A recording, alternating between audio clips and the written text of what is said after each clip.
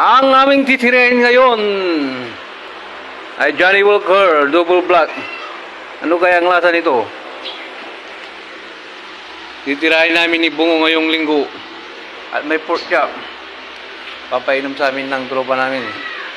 Mga loads. Salamat nga pala kay Kagawad. Shout out sa'yo. Abra mo, ako pa yung pari pagkatan, alawan, scripted.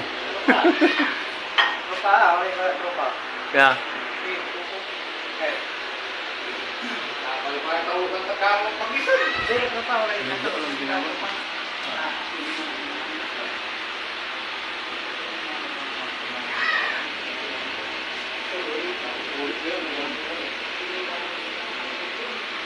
Double black tayo mga lods ngayon.